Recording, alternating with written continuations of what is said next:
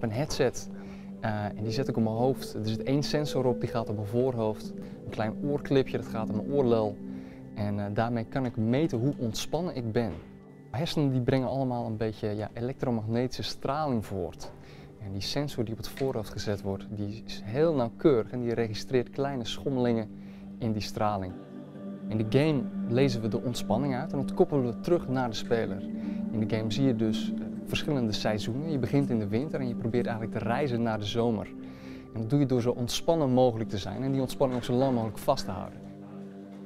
Wanneer de zon schijnt weet je dat je het uh, erg goed doet. En wanneer het sneeuwt, ja, dan kun je eigenlijk zien dat je nog wat, uh, wat gestrest bent en dat je even iets beter je best moet doen. Het doel van het spel is om mensen te laten spelen met hun eigen meditatie. En dan niet met een, een belerend vingertje, maar door gewoon plezier te hebben. Mensen die hebben het idee dat ze weten wat, uh, ja, hoe hun ontspanning werkt, maar wanneer je een headset op de hoofd zet, werkt het allemaal net even wat anders. Mensen gaan leren uh, ja, eigenlijk uh, dat te sturen. Hoe ze, ja, ze leren hoe ze dat kunnen ontwikkelen, hoe ze daar betere controle over kunnen krijgen. Als je naar de tandarts gaat en je bent nogal gestrest, staat er in de behandelkamer bijvoorbeeld zo'n kast. Kun je eventjes vijf minuten mediteren voordat je de stoel ingaat van de tandarts. Dat hebben we getest. mensen vonden dat heel fijn en de tandarts vond het ook heel fijn om wat minder wiebelende personen in de stoel te hebben.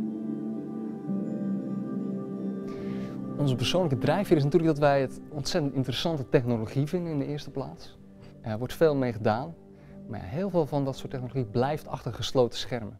Wij zijn als designers eigenlijk in de bres gesprongen om daar iets van te maken, om daar iets mee te doen, om mensen uit te leggen, te leren hiermee om te gaan.